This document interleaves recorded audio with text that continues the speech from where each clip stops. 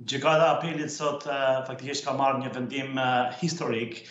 duke parë kontekstin në të cilën janë zhvilluar procedurat për të kundërshtuar vendimin ose procedurën dhe politikën e qeverisë britanike dhe kryeministrit Rishi Sunak por edhe më parë të kryeministrit mëparshëm Boris Johnson për kthimin e azilkërkuesve, dërgimin e azilkërkuesve në Ruanda në pak muaj më parë Gjykata e Lartë kishte vendosur që ky kjo politikë e qeverisë britanike ishte e ligjshme dhe azilkërkuesit që kishin ardhur në Britani mund të dërgoheshin në shtetin afrikano-lindor të Ruandës. Gjykata e apelit e cila të kujtojmë është gjykata e dytë më e lartë në Britani përveç gjykatës supreme ka marrë një vendim në ku tre gjykatësit kryesorë Presidenti i Gjykatës së Apelit, Lord Justice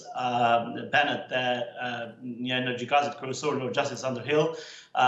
kanë vendosur një pra, një shumicë 2-1. A pra 2-1 ka qenë ndarja, nuk ka qenë nuk ka qenë 3-0. Në 2 me 1, po. Okay.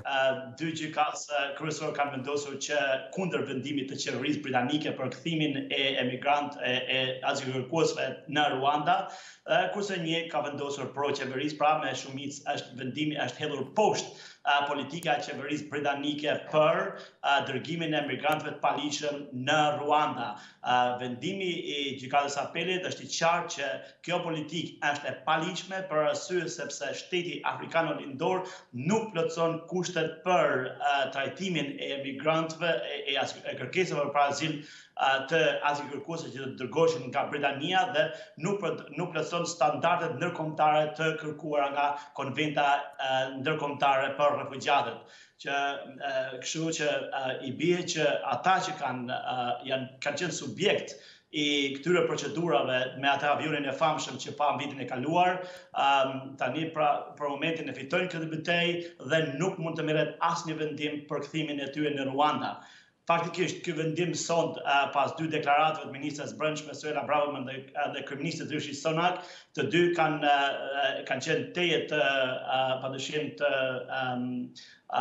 mërzitur me një vendim të tillë dhe por respektojnë vendimet e gjykatave britanike dhe do të apelojnë në gjykatën supreme. Kjo pritej faktikisht, por normalisht gjykata e apelit është ka qenë një gjykatë konservative dhe në përgjithësi ka vendosur në favor të qeverisë,